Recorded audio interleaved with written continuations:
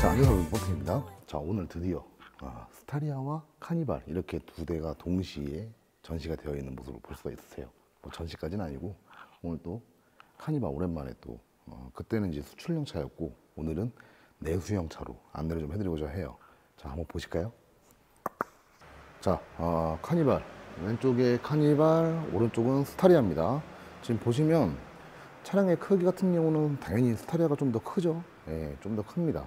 왼쪽 같은 경우에는 이제 내수형. 저번에 제가 찍었던 카니발 같은 경우는 이제 수출용 차량이기 때문에 어, 조금 뭐랄까요 수출용보다는 내수형을 좀 찍고 싶었거든요. 근데 이제 마침 어, 내수형이 국내 도로 테스트를 다니는 네, 모습을 저희가 포착을 해가지고 제가 쇼츠에 쇼츠에 한번 올렸었는데 예, 오늘 어, 이렇게 또 위장막 촬영을 한번 해봅니다.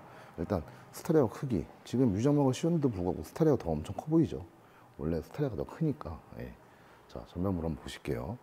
이 전면부를 보시면 어, 일단 카니발 어, 옵션 같은 경우는 좀 약간 하위 옵션 같아요. 왜냐면 이 중앙에 원래 이제 카메라가 있어야 되는데 카메라가 안 달려 있죠. 그다음에 이제 그릴 부분 그때 봤던 내수형과 어, 수출용과 약간 그릴 부분이 살짝 디자인이 좀 다릅니다. 그리고 이제 라이트는 이렇게 예, 여기 밑에 보시면 점점점점점 이렇게 있는 거 예, 그리고 라이트가 이렇게 음, 이게 나오고요. 그 다음에 밑에 부분에 이제 범퍼가 살짝 지금 보시면은 이렇게 각이 져가지고 라인이 점진 부분을 볼 수가 있으세요. 그리고 이제 하단 부분 예, 중앙에 이제 센서가 있고요.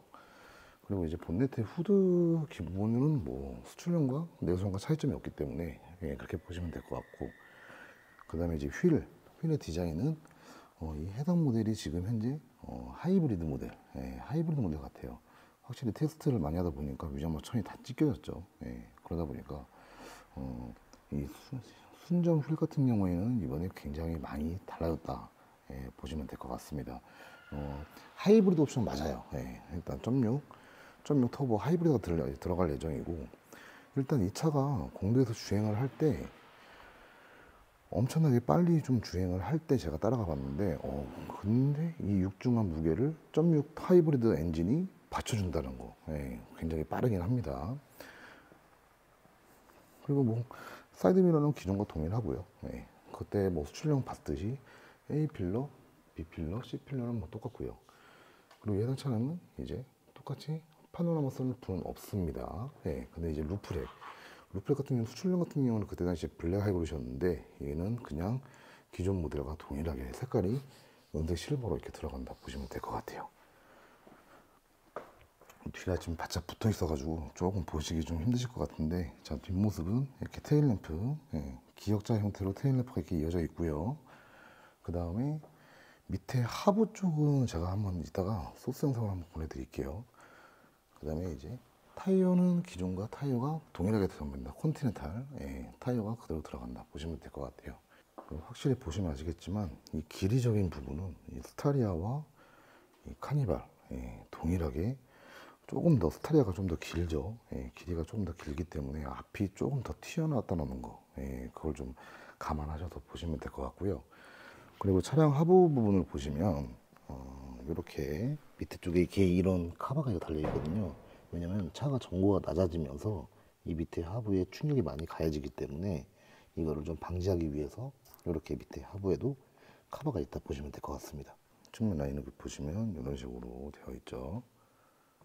그리고 이 실내 같은 경우는 썬팅이 진하게 되어 있기 때문에 안에가 보이지가 않습니다.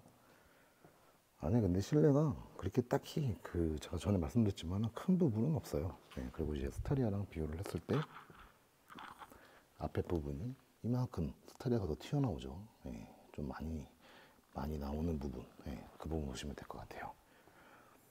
그리고 카니발이 지금 제가 볼 때는 나오게 되면은 어, 굉장히 국내에서 판매가 확실히 잘 되는 차량이기 때문에 그리고 막 예전 뭐 소렌토나 뭐 요즘에 나왔던 차들을 다 멀리서 봤을 때 기역자 형태의 예, 그런 방향지 시등이라든가 그런 걸 다 보셨다시피 굉장히 이쁘게 나오잖아요. 그런 디자인이 상당히 또 이쁘게 나올 예정이다 보시면 될 것 같습니다. 자 여러분들 어, 카니발, 예, 카니발 일반 내수형 그 다음에 스타리아 이렇게 두 개를 한번 비교를 한번 해봤어요. 크기적인 부분에서는 조금 차이가 있기 때문에 당연히 그건 감안해서 좀 보시면 될 것 같고 이 신형 페이스리프트가 나온다고 해가지고 뭐 길이가 좀 달라진다거나 더 길어진다거나 그런 부분은 아니기 때문에 그 점 참고했으면 좋겠습니다. 자 영상 재밌게 보셨으면 구독과 좋아요 잊지 마시고요.